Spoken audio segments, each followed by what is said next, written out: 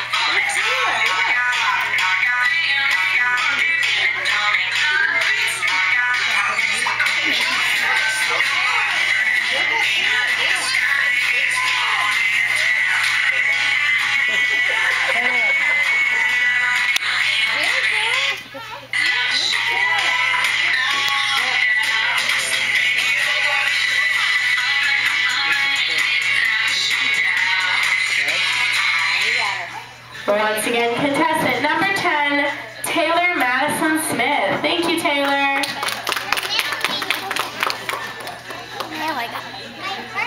And here comes contestant number 13,